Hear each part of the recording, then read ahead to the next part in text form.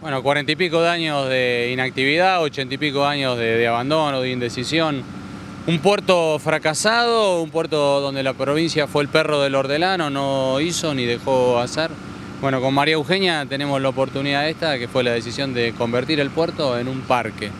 en un puerto parque público y bueno, en este momento lo que estamos es en una parte dura de la obra que es, se van derrumbando muchos sectores de la, de la antigua Rambla donde nosotros estamos y bueno, una parte se recupera, otra parte del derrumbe se va haciendo el nuevo table estacado. Lo que estamos presentes en este momento es en el table estacado, donde nosotros, nuestro compromiso es que la Rambla, tal cual se ve en los, mapas, tal cual se ve en la propuesta, tal, tal cual se ve en lo que nosotros estamos mostrando en los renders, es lo que se va a convertir. Para eso viene la parte difícil, la obra dura, la obra sucia, la obra que bueno, todos los vecinos tenemos que soportar hasta poder lograrlo en unos meses de poder disfrutar esta primer parte que es la cabecera de la Rambla, la cabecera del canal de acceso al puerto de San Isidro. Toda esta primera etapa, como ustedes saben, arrancamos con las tareas de mantenimiento y de seguridad y de puesta en, en funcionamiento de todo lo que era la estructura del puerto. Ahora concretamente arrancamos con la, la colocación del table estacado.